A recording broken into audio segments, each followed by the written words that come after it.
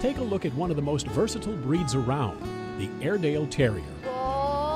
They adapt easily to any task, are excellent athletes, and strangely enough tend to be very stoic and tolerate pain without complaint. Maybe that has to do with their origins.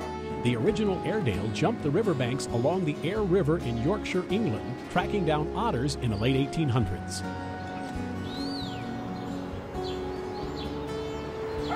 The modern day Airedale is more likely to be a pet than a working stiff, Let's go to the paper. but they are no less animated, alarmingly smart, with high energy.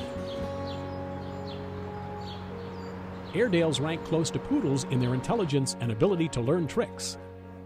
Ruth Whitefield has taught Elmo more than 25. I think that in a word, an Airedale is a clown.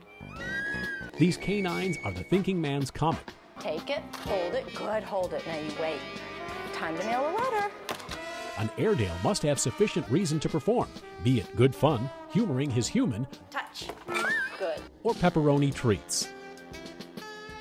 But Ruth knows a bored Airedale is like a gifted but unchallenged student. He can get bored easily and uh, might start tearing things up, whereas if I can channel his energy in a constructive way, then he can burn it up and take a nap instead of chewing up the pillows or my shoes or something. There's a lake in my neighborhood where I take Elmo regularly for him to run off a lot of that energy. It is Airedale heaven woods to sniff and snuffle, a sandbox to dig in, and a game owner with a pocket full of treats.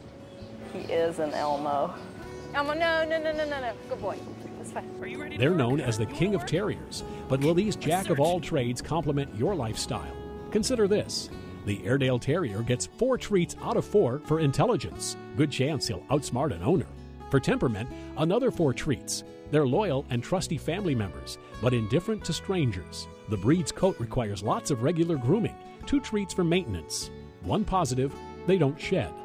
The Airedale's health is hardy, three treats. But beware, these dogs may not show pain if injured. For versatility, four treats out of four. They swim, guard, haul, hunt, and love to learn. Few obstacles are expected to stop these tiny terriers from trenching forward. After all, the Airedale's ability to master new tasks and to delight new masters make it a breed apart from all others.